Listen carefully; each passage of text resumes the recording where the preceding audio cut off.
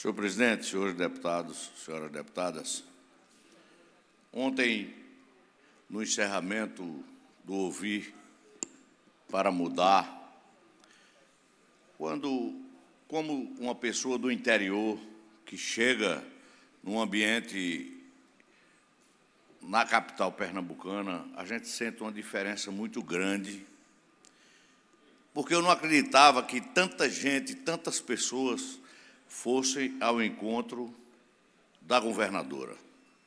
E quando a gente chegou,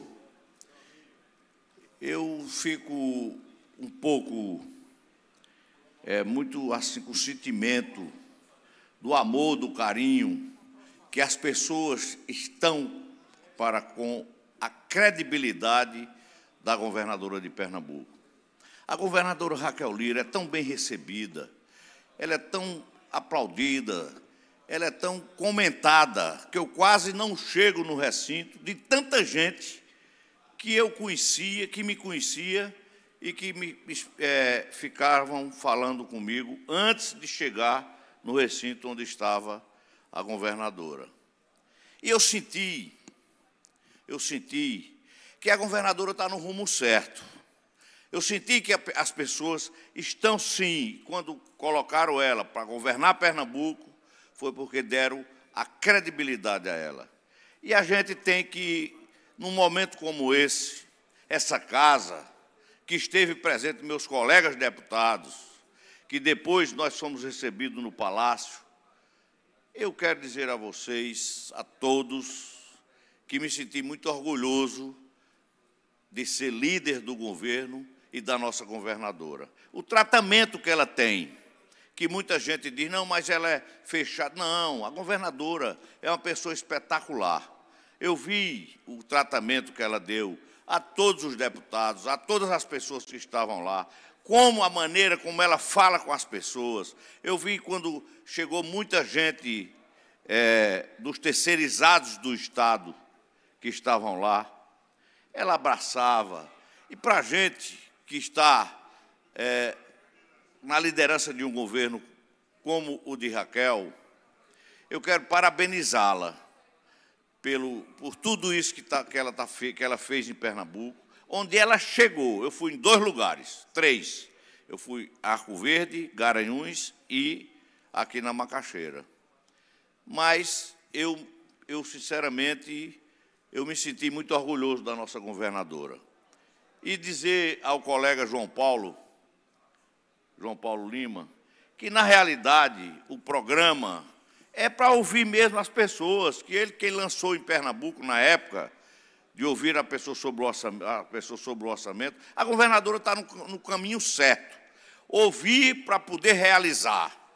Porque nós não podemos, nós que fomos gestores, que poderemos ser gestores ou que vão ser gestores, nós não temos que determinar o que nós queremos fazer.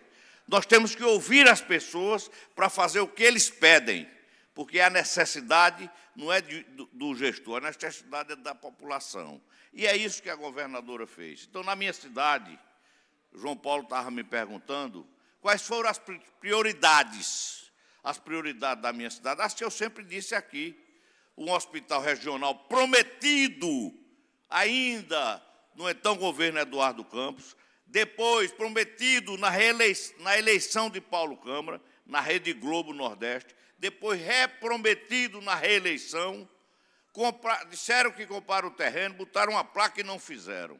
E agora, ontem mesmo, eu conversando com a governadora, e conversando com a secretária de saúde, ela já vai mandar os, os engenheiros para ver o terreno, para construir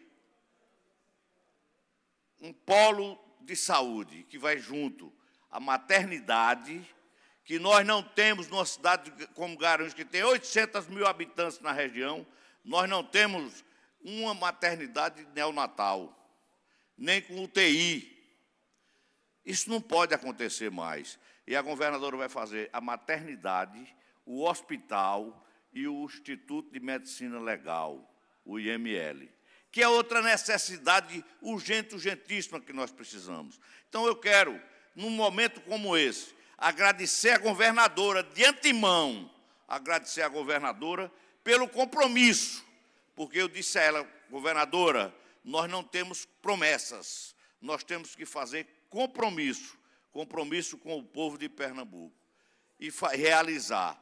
E outra coisa que eu estava ouvindo hoje também na rádio CBN, na discussão do, do, das pessoas, dos comentaristas que estavam lá, que são as questões das BRs, das BRs e das PEs de Pernambuco. Que a governadora já também já está com recurso para já começou a fazer operações nas PEs e que vai chegar nas BRs, para que nós possamos ter também um Pernambuco melhor para desenvolver mais. Era isso que eu queria dizer nesse momento, agradecer à governadora Raquel Lira, a toda a sua equipe, pelo que fizeram e pelo que nós aqui da Assembleia Legislativa participamos também de um governo que eu tenho a consciência tranquila que vai será um grande governo de Pernambuco e que o povo de Pernambuco vai se orgulhar da governadora que tem e vai se orgulhar do que vai acontecer em Pernambuco nesses próximos anos, daqui para frente, que é, a governadora vai realizar. Eu tenho a consciência tranquila que nós vamos ter um, um grande projeto para Pernambuco e nós vamos realizar tudo o que Pernambuco precisa, porque é, é difícil, mas nós temos a consciência, porque outra coisa também que a gente tem que dizer, a gente tem que falar, nós temos um presidente que é de Pernambuco e que é de Garanhuns, que eu até vi Zelezinho dizendo que Lula não é de Garanhuns, Lula é de Caetés. Olha, para quem não conhece, Caetés era uma cidade que se chamava Caetano, era um distrito de Garanhuns. Quando Lula nasceu, que saiu, de Garanhuns, saiu do município, era Caetano, distrito da cidade de Garanhuns. Então, Lula, a identidade de Lula, ele já me mostrou, inclusive, que tem o um nome nascido em Garanhuns, no, no, no distrito de Caetano, no município de Garanhuns. Então, eu tenho certeza que Lula vai ajudar muito Pernambuco, como ajudou na, na época de Eduardo Campos, vai ajudar muito, abriu as portas para o governo de Pernambuco. Lula hoje, pode-se dizer, Lula hoje está muito bem com a nossa governadora, a nossa governadora hoje vai sabe pedir, sabe buscar e está conseguindo é, os, os recursos que Pernambuco precisa. Então, quero parabenizar também ao nosso presidente Lula por o que está fazendo também para o Pernambuco, junto com a nossa governadora Raquel Lira. Um abraço.